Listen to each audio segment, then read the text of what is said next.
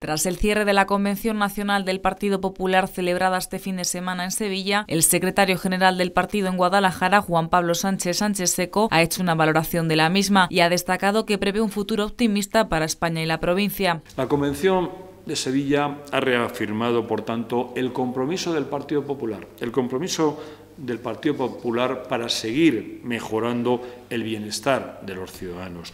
Eh, son los presupuestos, como decía, los presupuestos generales de Estado para este año 2018 que eh, incluyen un mayor el mayor gasto social de los últimos años. Una convención que, según ha apuntado, reafirma los valores del Partido Popular en la defensa del país y la unidad de España.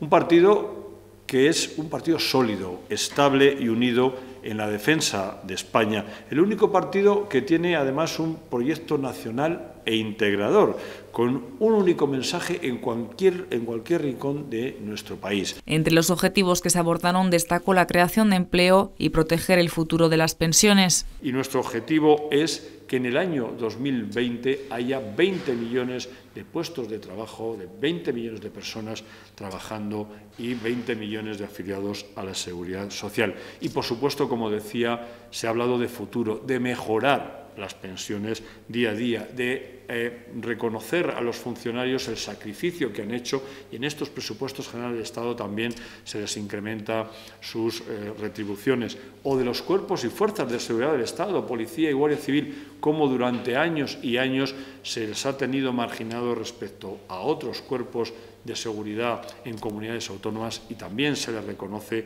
eh, ese incremento merecido. Sánchez Seco ha señalado que queda mucho por hacer, pero que seguirán luchando para garantizar una estabilidad económica.